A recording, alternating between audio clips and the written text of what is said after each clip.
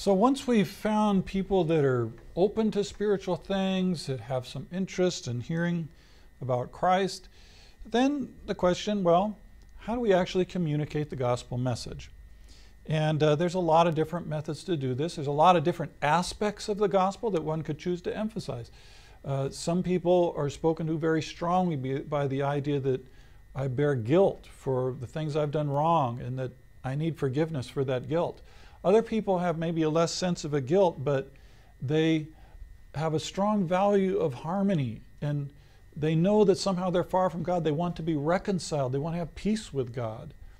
For some people, the idea of eternal life is a very strong attraction. I know of a person in Japan uh, whose mother in law, Japanese, the idea of eternal life was not very attractive to her because, according to the Buddhist teaching, life is a life of suffering. So you don't want eternal suffering, but eternal peace, eternal peace.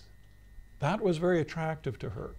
And so uh, there are different aspects of the gospel that can be emphasized, all of them true, all of them important. And they offer different starting points in seeing that little opening in, the, in a person's heart where, where Christ can speak into it. But what are some of the more specific methods? Well, of course, we know about personal evangelism, where just one on one, I share the gospel with another person who I know. I maybe tell my story about what Jesus did in my life or how I became a Christian. Or I explain to them, maybe using a gospel tract or a little drawing, an illustration of what the gospel is about.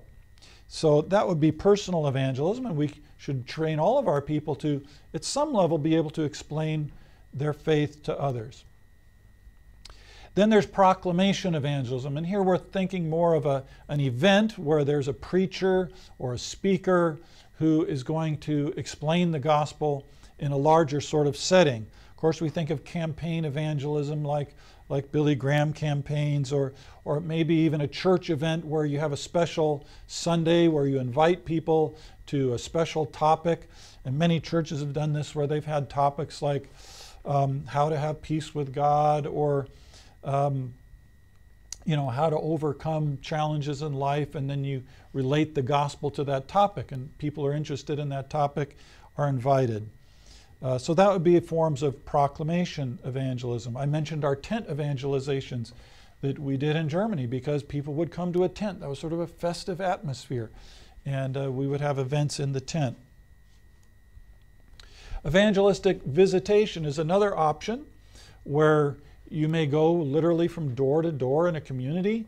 Um, in big cities, that can be pretty difficult because People are not always welcoming to open the door to a stranger in a big city. Um, but what can be effective is churches have had maybe children's ministries where a lot of uh, children from the community come whose parents are not related to the church.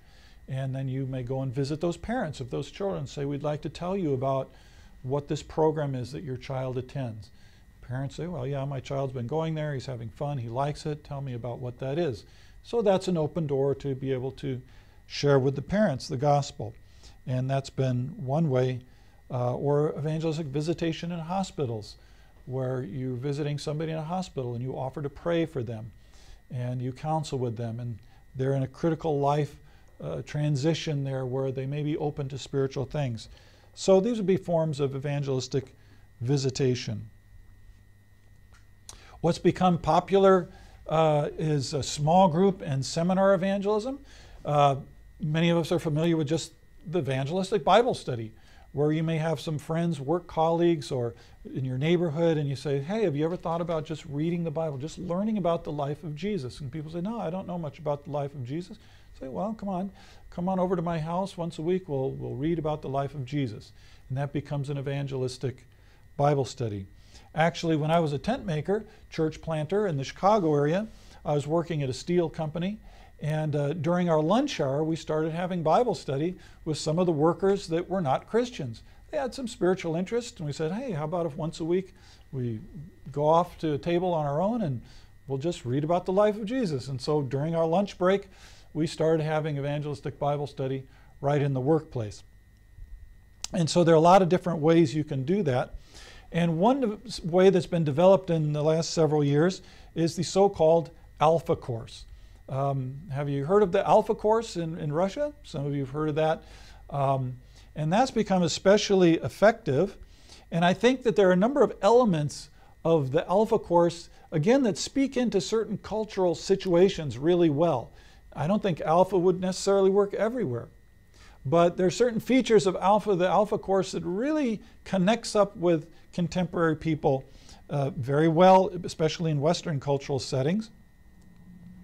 It has a course format, and a lot of people are used to taking courses, whether uh, maybe their job has some sort of continuing education. You've got to go get training for something. So, uh, a lot of uh, areas have uh, sort of adult education programs that you can sign up for and take courses, evening courses. And so the Alpha is sort of a course format that people are uh, familiar with. It's uh, basically its structure is non-confessional. In other words, it's, it's not Catholic, it's not Lutheran. It's it's sort of a, a general. So if a person uh, is a little concerned about getting involved with some strange sect, well, this is fairly generic. And you begin with that light meal. You know, you, you make it a little friendly, and so you have a meal together. And um, that just creates a warm atmosphere. People like to eat food, right? And and when you're eating, you're just kind of building relationship. You're not talking necessarily about the topic of the night or anything heavy. You're just building relationship. Very relational. And you're building this relationship with Christians, non-Christians.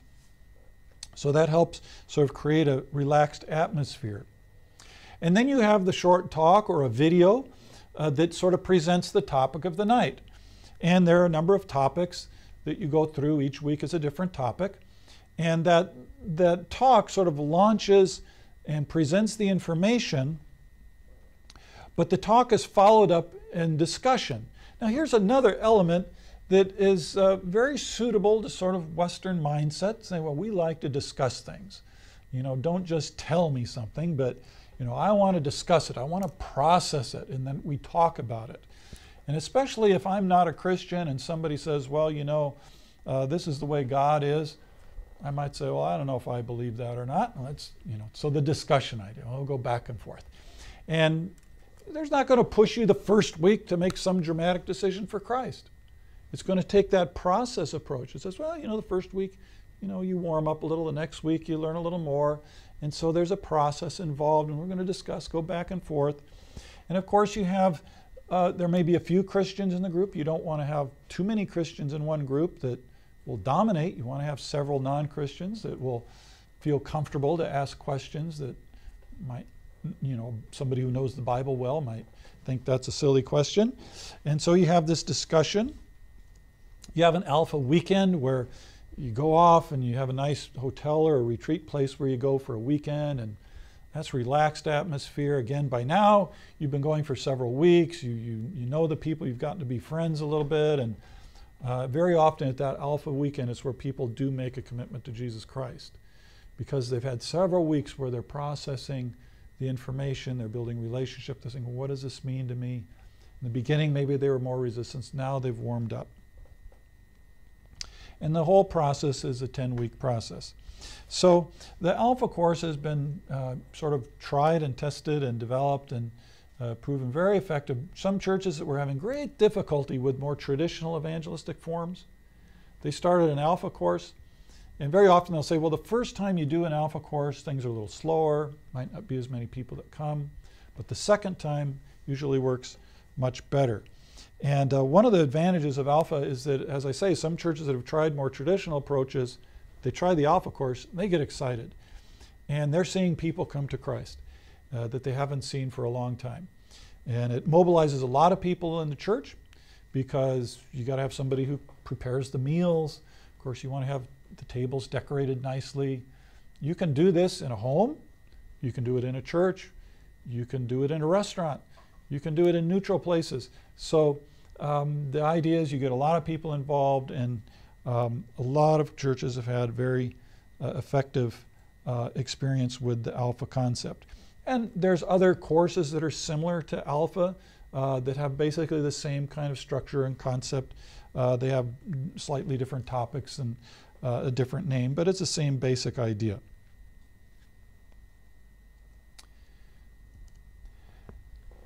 Another approach to evangelism that has become really quite developed in the last decade or two is what we call orality and Bible storying.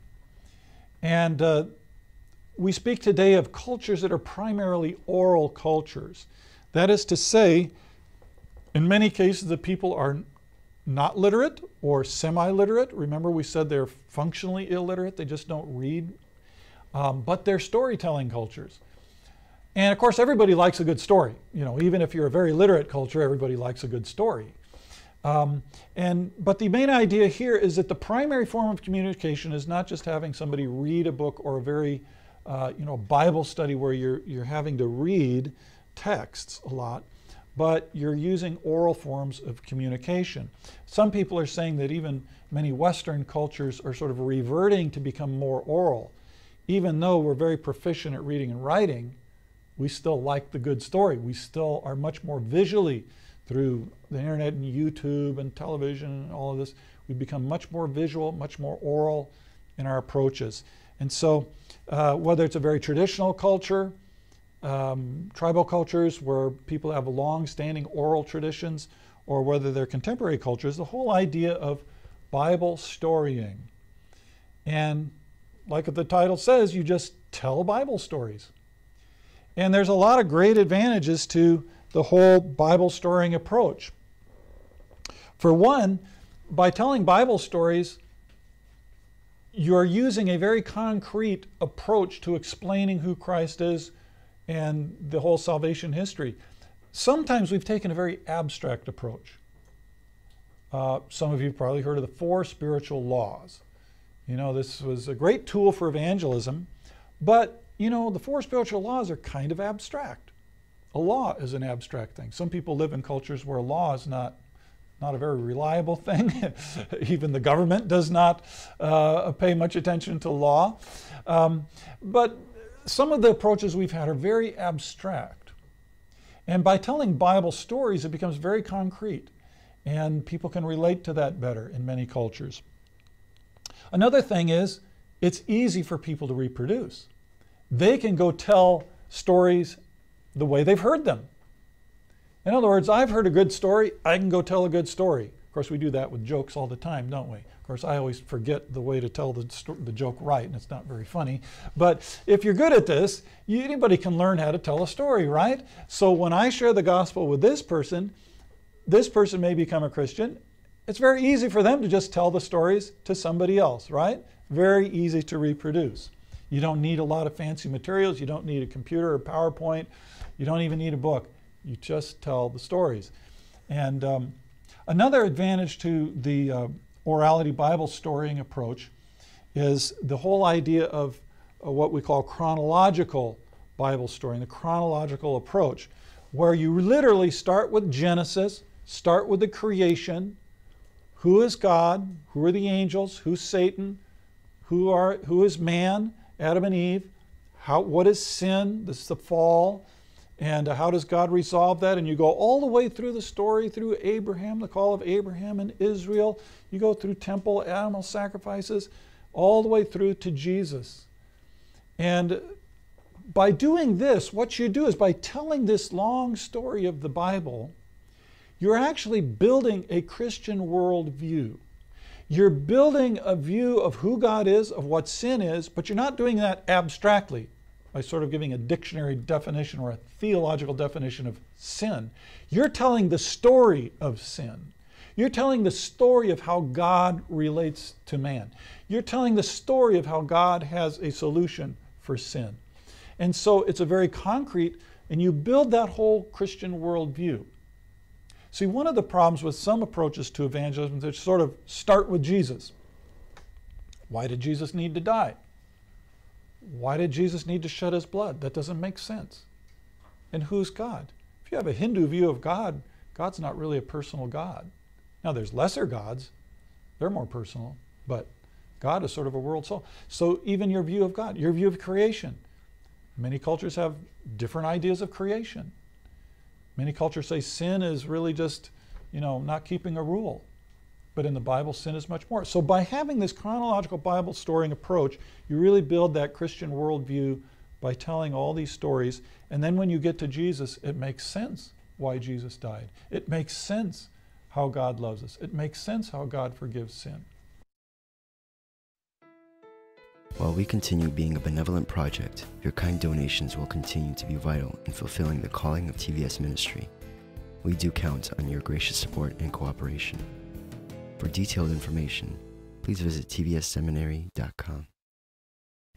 And um, some of the materials that are available, perhaps the most famous is called Building on Firm Foundations. New Tribes Missions developed this.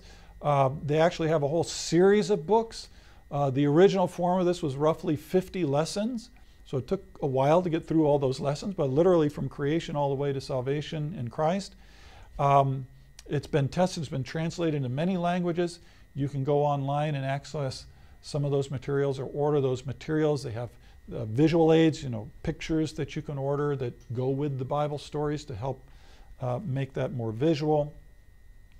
And so uh, the Firm Foundations was really developed in the Philippines, again, with a very oral culture, um, and uh, has been developed for many different languages and contexts. The International Mission Board of the Southern Baptists have also developed many, many materials in uh, orality and Bible storying. Uh, this is just an example of a book, Making Disciples of Oral Learners. And again, some of these resources are available in other languages. You can go online. Some of it you can just download online. Some of it you may have to order. But there's a lot of resources on the whole approach to telling Bible stories. Or you can even get one of these uh, Bible story uh, uh, cloths, and you can sort of see from, from this picture here that uh, there's little pictures. Each box has a different picture, and you can just sort of tell the story with, with the cloth. And that's sort of your sort of a gospel tract of sorts. You can fold it up, carry it around with you, and and then uh, if somebody else wants to, well, he can have his cloth and he can go tell his stories also. Very simple way, very easily reproducible. Remember what we were saying. If you want church multiplication, you've got to multiply disciples and you have to have methods that are easily reproducible. So, this whole idea, the whole area of uh, orality and Bible storying is again something we can't go into in a lot more detail. Um, you can see videos on this at YouTube that will give you lessons on how to do some of this. So that would be something, especially if you're dealing with people who are uh, less literate or in traditional societies, um, but even in more sophisticated societies, this is becoming more and more uh, approach that's being used.